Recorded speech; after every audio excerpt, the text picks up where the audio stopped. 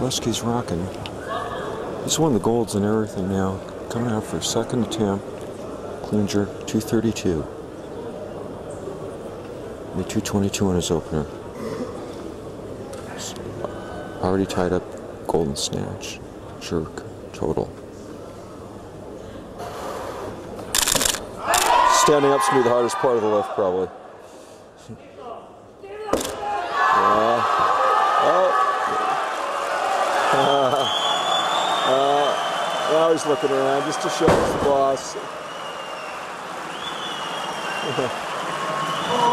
Good lift. I think that's it he's saying.